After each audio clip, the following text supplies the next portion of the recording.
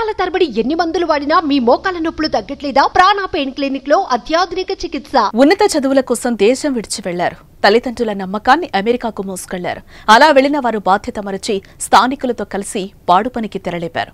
ఉద్యోగం చేసి డబ్బులు సంపాదించాక ఈజీ మనీ కోసం అలవాటు పడి అడ్డదారులు తొక్కి జైలు పాలయ్యారు. బంగారు భవిష్యత్తును నాశనం చేసుకున్నారు. ఇంతకీ అమెరికాలో తెలుగు విద్యార్థులు చేసిన పాడు పని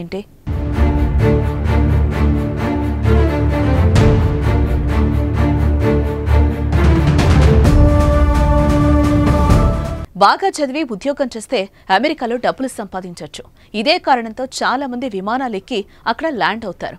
ఐదుగురు యువకులు కూడా అమెరికా వెళ్ళారు కానీ చెడు మార్గంలో డబ్బులు సంపాదించడంపై దృష్టి పెట్టడంతో చిక్కుల్లో పడ్డారు. స్థానికులు నిర్వహిస్తున్న వ్యభిచారంలో పాలుపంచుకుని అడ్డంగా దొరికిపోయారు.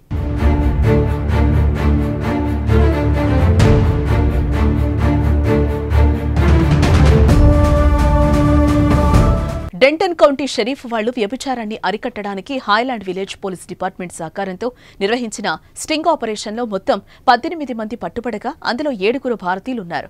ఆ ఏడుగురులో ఐదుగురు తెలుగు యువకులుండటం కలకలం రేపుతోంది. అరెస్టైన యువకులను నిఖిల్ బండి మోనీష్ గల్లా నిఖిల్ కుమ్మరి జై కిరణ్ మేకల కార్తీక్ రాయపాటిగా తెలుస్తోంది. సులభంగా డబ్బులు సంపాదించాలనే ఆలోచనతో వీరు ఈ పాడు పనికి పాల్పడినట్టుగా సమాచారం.